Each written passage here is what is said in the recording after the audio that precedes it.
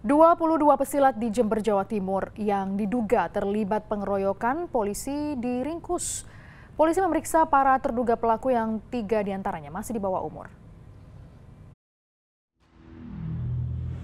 Konvoi motor ribuan pesilat berujung aksi pengeroyokan terhadap seorang anggota polisi di Jalan Ayam Wuruk, Kecamatan Kaliwates, Jember, terus diselidiki polisi. Tak butuh waktu lama, penyelidikan secara maraton akhirnya dapat mengamankan 22 pesilat yang diduga terlibat pengeroyokan.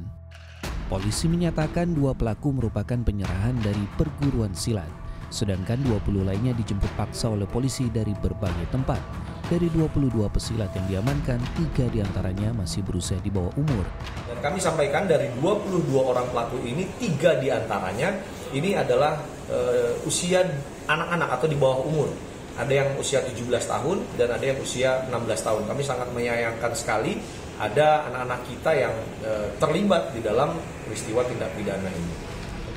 Selain atribut perburuan seperti bendera, polisi juga menyita sejumlah barang bukti mulai dari batu, potongan bambu, serta 10 sepeda motor yang digunakan para terduga pelaku. Sementara itu kondisi korban pengeroyokan, Aibda Parmanto Indrajaya berangsur-angsur stabil. Selain mengalami sejumlah luka lebam, anggota Polsek Kaliwates itu juga mengalami patah tulang di hidung. Pengeroyokan sendiri terjadi saat korban bertugas mengamankan proses suro agung yang digelar ribuan pesilat PSHT Senin dini hari kemarin. Tommy Skandar melaporkan dari Jember, Jawa Timur.